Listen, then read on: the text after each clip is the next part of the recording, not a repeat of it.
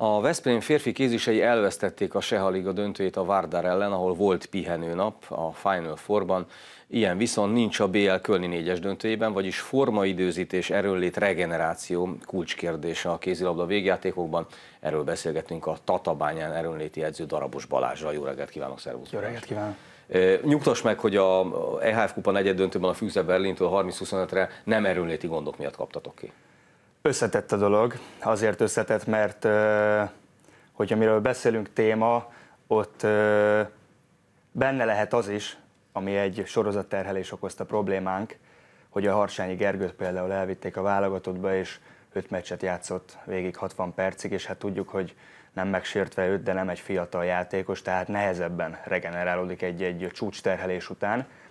És a világbajnokságon ugye ö, minden mérkőzés nagyon-nagyon éles volt a magyar válogatottnak, és, ö, és a Gergőt sajnos elveszítettük a világbajnokság után, mert folyamatos sérülésekkel ö, bajlódott, és ö, ez is lehet például az oka, hogy a Magdeburgot nem tudtuk otthon elkapni, és akkor lehet, hogy nem pont a német csapattal játszunk. A... Ért, tehát igen, minden minden összefügg. Egy, egy, hogyha azt nézzük, egy, egy szezont Így egyben van. kell nézni, ezt már ezzel felvezetted, de um, azt mondják, hogy te, aki ugye sportolóként válogatott atléta, gyalogló is voltál, ez a sportolói, élsportolói tapasztalat, ez, ez erőnléti edzőként milyen többletet ad neked?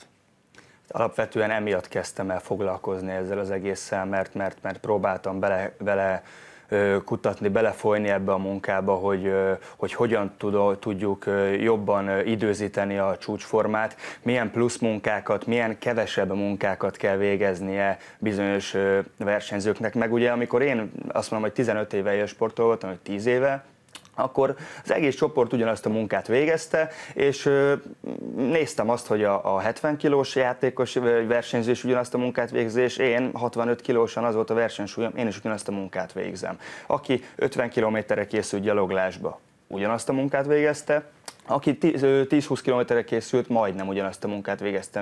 Mi a differencia a kettő között? Nagyon nagy a differencia a kettő között.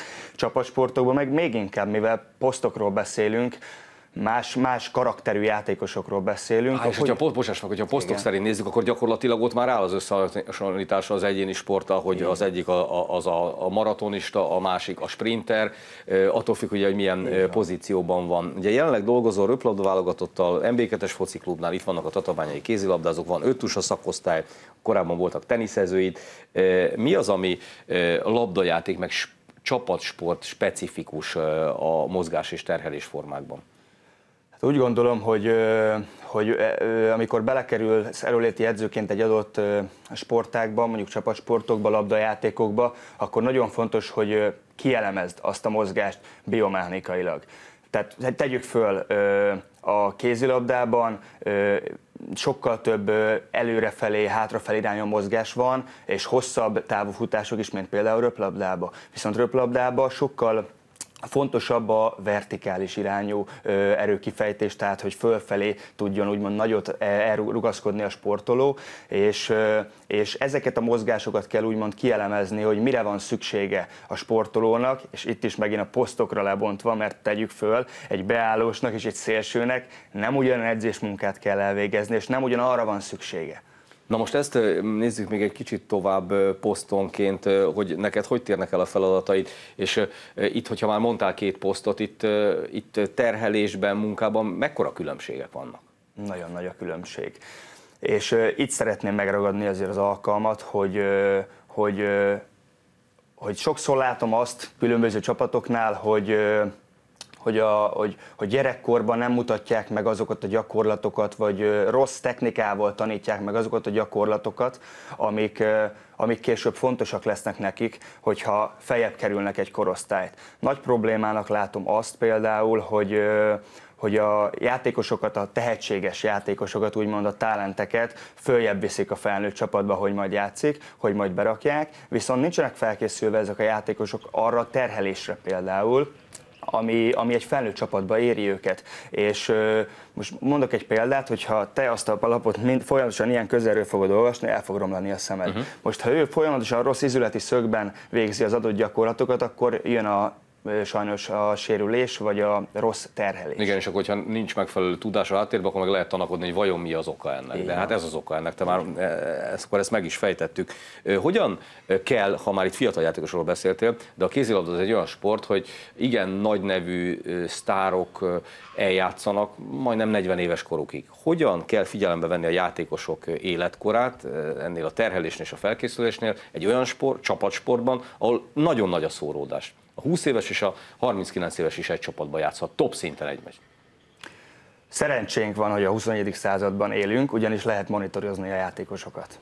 És ez azt jelenti, hogy ha, ha megfelelő rendszereket alkalmazol, akkor, akkor az adott terhelés után esetleg rögtön megkapod azt, hogy mekkora regenerációs időre van szüksége mondjuk egy, egy magas intenzitású edzés után a különböző játékosoknak. Ez neked lehet, hogy 24 órát vagy 48 órát fog igénybe venni, viszont nekem csak 12 órát, mert fiatalabb játékosnak számítok nálad. Uh-huh. És ha ezeket szépen ilyen, ilyen eszközökbe beleinvestál a klub, és azt mondom, hogy például ugye most mondhatjuk, hogy nagyon nagy a tőkeinjekció ezekbe a sportágakba, a labdajátékokba, és ha jól sáfárkodnak a klubok ezekkel az, ezekkel az összegekkel, és olyan, ö, olyan dolgokat próbálnak meg a klubokba bevinni, újdonságokat, amik akár még a játékosoknak a, a, a szemét is fölnyitja, hogy fú, eddig ez nem volt, és most ezzel mégis többet, többet tudnak hozzám tenni, sokkal nagyobb a potenciál a fejlődésembe, akkor, akkor azt gondolom, hogy, hogy, hogy hozzá tudtunk adni a játékosnak a, a teljesítményéhez.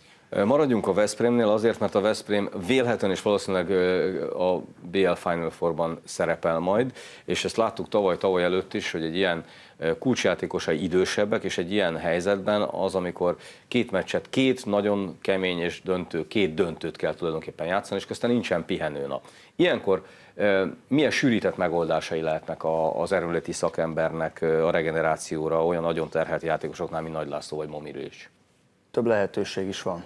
Az egyik, hogy, hogy évelején minőségben olyan keretet alakítasz ki, amit tudsz rotálni.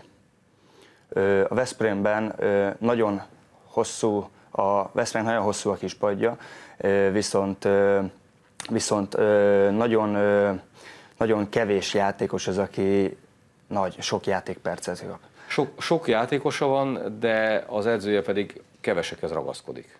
Így van.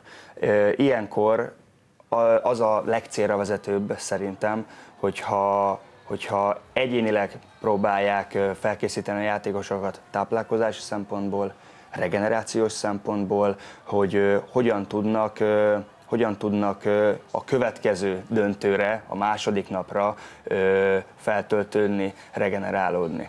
Ez egyénenként természetesen változik, és függ attól is, hogy hogyan alakítja ki az edző az első döntőjét, tehát az elődöntőt úgymond. Hogyha úgy alakul a mérkőzés, hogy tegyük föl, 7-8 góllal vezet a, a Veszprém, akkor azt gondolom, hogy lehet már pihentetni azokat a kulcsjátékosokat, akiknek másnap szintén egy maximális terhelést kell elérnie, vagy egy csúcs teljesítményt. Az olyan, hogy közben a kijelsz elleni tavalyi döntő ne jusson eszembe. Így van, nem jut eszembe.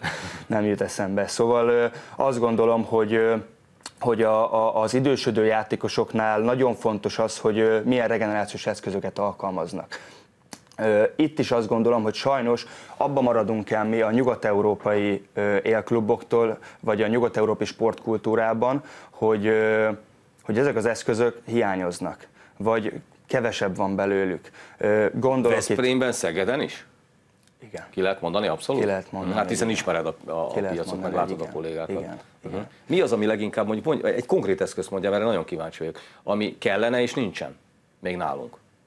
Mondok egy példát, például egy, egy lökés hullámterápia, egy, egy, egy mágneságy, egy lézer, lézer terápia, vannak olyan komplex rehabilitációs eszközök, amiket, amiket, amiket azt gondolom, hogy még nem szereztek be ezek a klubok, amivel tudnák segíteni. Vagy mondom azt, hogy például van egy olyan eszköz, ami kompressziót vált ki a, a keringésbe, és ezáltal egy átmosó jellege van úgymond az eszköznek, és, és felfrissíti a vérkeringést, és, és úgy érzed, hogy egy csústerhelés után újra friss tudsz maradni. Hát azt mondom, mire való a TAO pénz, ha nem ilyen eszközök beszerzésére, ugye? Balázs, köszönöm szépen, hogy itt voltál. Köszönöm szépen.